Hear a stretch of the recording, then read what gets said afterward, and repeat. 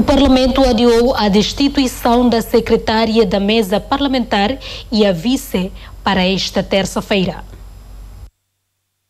O Parlamento Nacional devia ter realizado esta segunda-feira a sessão plenária para destituir a secretária da mesa e a sua vice. Estava ainda prevista no mesmo dia a eleição de duas pessoas para o cargo.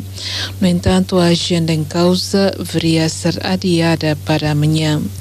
Segundo o presidente do Parlamento, só poderá proceder à destituição após 24 horas da apresentação da lista dos candidatos.